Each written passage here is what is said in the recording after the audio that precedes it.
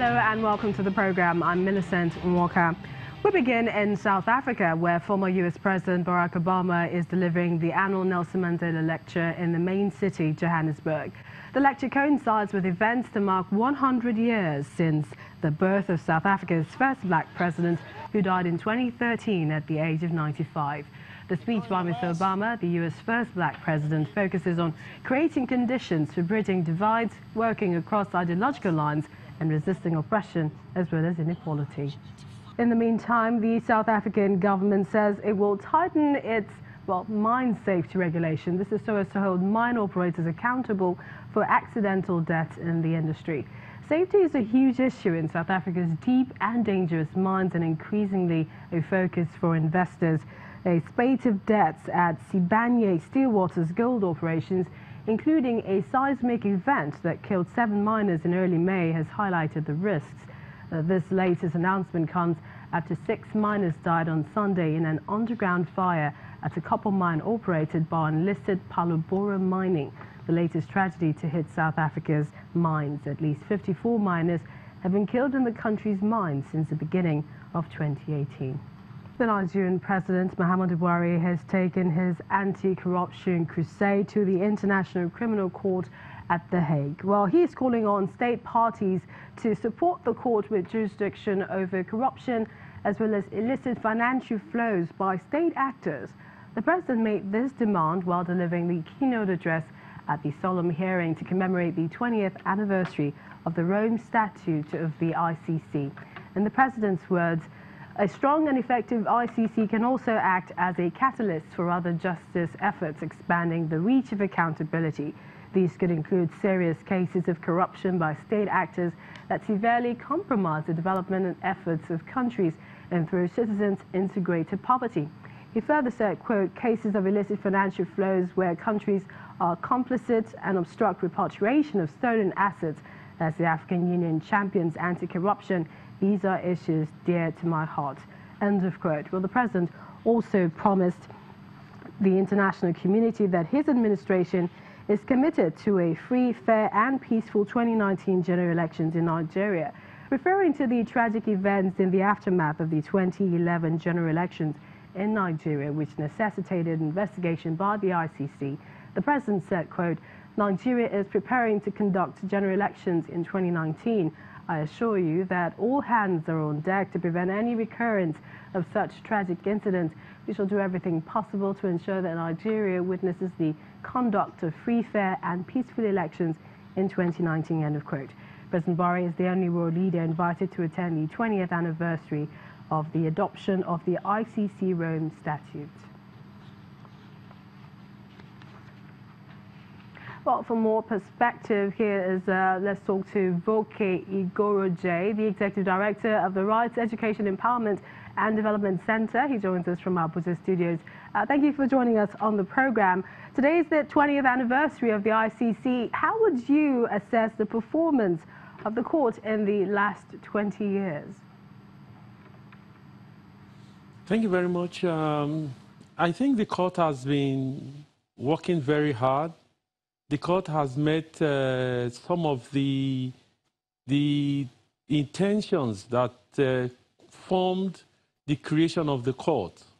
Uh, the court came into existence in 1998 by virtue of the Rome Statute after the mandatory 60th ratification. And since then, the court has been working. Presently, the court has 11 cases that is active and also has about four cases under examination of which Nigeria belongs. Of the 11 cases it has, 10 of these cases are in Africa and only one in Eastern Europe, and that is Georgia. Of the 10 cases in Africa, five were by self-referral, that is, they requested themselves to be uh, to, for the court to investigate crimes in their country. And one, the case of Sudan, was by uh, the Security Council resolution to, uh, for crimes committed in Darfur. Then these are the situations presently before the court. So would you say that it's working in terms of their performance? Because we know a number of African countries are pulling out of the ICC due to alleged bias from the court. Um, is the ICC really focused on prosecuting crime in Africa alone? Yeah, I do not think that it is because the ICC is focusing on Africa alone. Don't forget that the ICC works on the basis of complementarity. That is to say that when countries, when domestic jurisdictions are unable or, or willing to act, then the ICC has to act. Because we have weak institutions in Africa, because we have regimes that do not respect the right of citizens to access to justice, that is why more of the attention has been on Africa.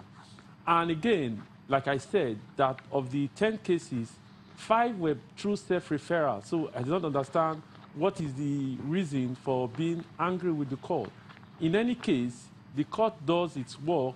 The essence of the court is to fight impunity, is to create a room where perpetrators of mass atrocity crimes, crimes such as genocide, war crimes, ethnic cleansing, and uh, I mean crimes against humanity, and recently the crime of, gen of uh, the crime of aggression.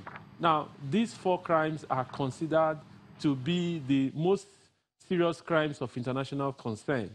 And the court, in exercising its authority, has been active and doing well. So, in my estimation, I do not agree that uh, the court is biased towards Africa. It is where you have cases that you will certainly have trials. Well, President Buhari is also the only world leader invited to attend the 20th anniversary of uh, the court. What do you think this is? What does this say about ICC's relations with perhaps President Buhari of Nigeria and the rest of the world? I perceive that the hostility of the AU has necessitated the uh, invitation by Buhari being that Nigeria is a big player in, in the African Union, and I think so far, among the big players, South Africa used to be a friend of the ICC until it started uh, turning its back on the court. I think the ICC needs everybody, every country to be on deck to work hard to fight impunity. So my sense is that President Buhari is needed to provide a rallying point for the AU to, again, to support the International Criminal Court. Because in our own estimation, this is a permanent court that is based in The Hague that has jurisdictions over persons. And so we must support this court to fight impunity. Because if you look at the world today, it looks like impunity is now the order of the day. I mean, there are crises everywhere in Africa, in, in, in, in the Middle East, in Southeast Asia. There's atrocity everywhere. And it seems that perpetrators are getting away with it.